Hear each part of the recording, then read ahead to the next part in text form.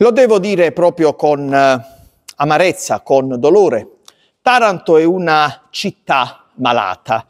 Beh, le ultime vicende del, della grossa, pesante inchiesta giudiziaria riguardante eh, gli appalti eh, dei servizi eh, cimiteriali, beh, la dice lunga su quello che è il quadro di Taranto. Per carità, non voglio essere non voglio anticipare sentenze, vale, ed è bene sottolinearlo, il principio di non colpevolezza fino a sentenza definitiva, però lascia molto ma molto pensare, incute eh, dubbi molto pesanti e pressanti nei cittadini.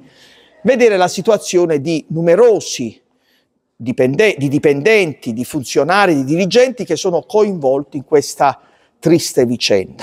È una richiesta di arresto da parte del PM, arresti domiciliari per il poi non, conver- poi non accolta dal GIP riguardante il comandante dei vigili urbani, il direttore generale, il comandante dei vigili urbani, il dottor Matichecchia, Michele Matichecchia, il, il direttore generale del comune di Taranto, il dottor Carmine Pisano. Parliamo di figure apicali. Beh, voglio sperare che nei loro confronti scatti un provvedimento di sospensione, quantomeno in via cautelare.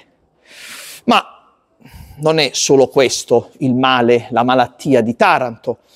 Eh, abbiamo visto altre vicende giudiziarie eh, tristi, atroci, vedi quella del concorso dell'Amio, con un dirigente trovato con le mani nella marmellata che sta ancora lì un concorso che non eh, si tiene, cosa assurda, dopo che i partecipanti hanno pagato eh, le, le, varie quote, le varie tasse appunto per partecipare.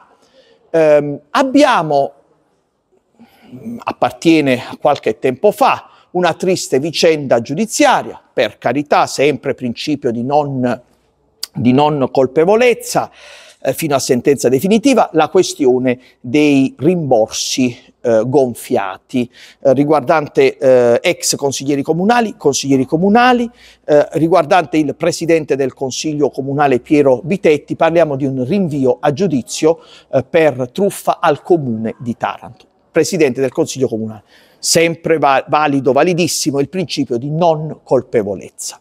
Ma oltre questi aspetti giudiziari tristi, raccapriccianti, oserei dire, beh, c'è una situazione amministrativa paurosa. Abbiamo un sindaco non sindaco, un'amministrazione paralizzata dal punto di vista amministrativo, un sindaco che ha zerato la giunta e che da 15 giorni, 20 giorni, 20, 15 giorni circa, noi non abbiamo più assessori con l'attività amministrativa paralizzata, con un sindaco che ha perso la maggioranza, non ha più la maggioranza, ecco perché dico un sindaco non sindaco. Il sindaco è quel che resta di questa maggioranza raccogliticcia, tirano a campare con il solo scopo di eh, mantenere il proprio posto, duri finché duri, come si suol dire. È una città malata, malata. I tarantini non meritano questo, non meritiamo questo. E io e il collega Massimo Battista, collega consigliere comunale e amico Massimo Battista, eh, consigliere di eh, una città per cambiare Taranto, vogliamo disegnare una Taranto diversa, eh, vogliamo spazzare via questa, questa classe politica che ha saputo solo fare danni. Siamo distanti dal centrodestra e dal centrosinistra. Vogliamo costruire una realtà trasversale ai partiti che metta insieme le migliori intelligenze, le migliori professionalità. Dobbiamo spazzare via, dobbiamo fare piazza pulita rispetto a questa classe politica. Dobbiamo ria- ri- riaggiustare, risanare la macchina amministrativa, anche nelle varie direzioni. Beh, quello che stiamo facendo e quello che, che faremo. Tante denunce anche da parte nostra, tante esposti, augurandoci che la magistratura, come ha fatto per altri casi, anche per questi eh, intervenga, intervenga quanto prima. Bene, che dire, una città malata. Taranto è una città malata. Però è una, una realtà moribonda, non morta. L'unico sistema è spazzare via, lo ripeto, questa classe politica. L'unico rimedio. Altre cure non ce ne sono. Noi vogliamo salvare Taranto, vogliamo ridare ai cittadini la dignità di essere tali cittadini, non sudditi di tanta sporcizia.